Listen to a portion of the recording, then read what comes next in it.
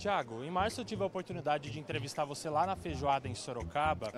E eu fiquei bravo, porque você não me deu nenhum spoiler do programa. Ué, não podia, gente? Ah, pelo amor de Deus. Primeiramente, Vocês da empresa, gente, ó, vou falar um negócio. Vocês têm uma ansiedade de querer saber antes. a gente perguntou e as novidades, tem alguma novidade vindo aí? Televisão? Não, tá tudo em ordem. Eu não falei que a hora que eu pudesse falar eu ia falar. Estamos aqui, ó. Juntei todo mundo pra falar.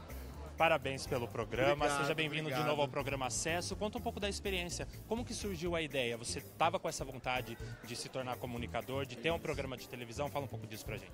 Foi isso, assim, acho que eu sempre me esquivei desse lado comunicador, acho que talvez pela comparação com o mestre, meu vô. É, E aí o dia que eu, que eu me encontrei nesse lugar, que eu vi que existia essa possibilidade, falei, bom, então vou correr atrás de algo que, que tenha a minha cara, que eu, que eu consiga me identificar é, para comunicar às pessoas, para viver uma experiência artística bacana.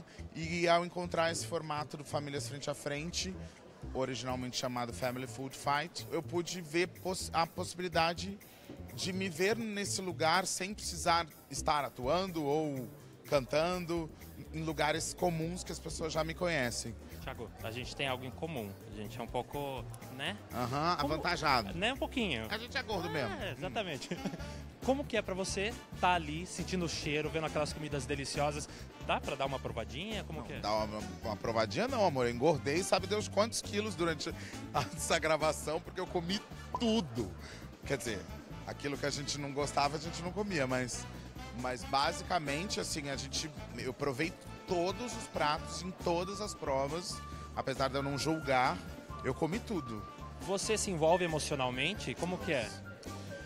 Olha, esse talvez tenha sido a maior, o maior dificultador da, da minha posição. Não conseguir não me envolver emocionalmente. Choro em- em inúmeras vezes no programa, é, fico bravo em alguns momentos, é, dou conselho quando eu posso.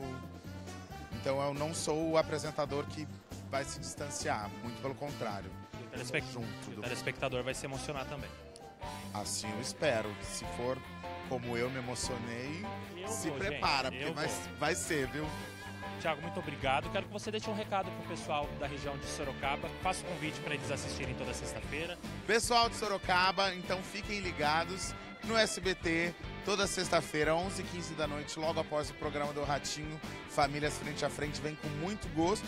E quem não conseguir acompanhar ao vivo ali no, no horário do SBT, pode ir no Amazon Prime Video, que os, os, os programas estarão todos disponíveis nessa, nessa grande é, empresa que é a Amazon Prime Video.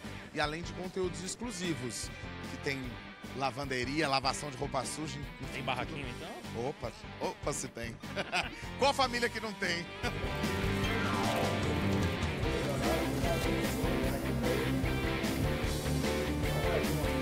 Sejam bem-vindos às nossas cozinhas do Famílias Frente a Frente. Esse lugar onde a gente viveu tantas emoções,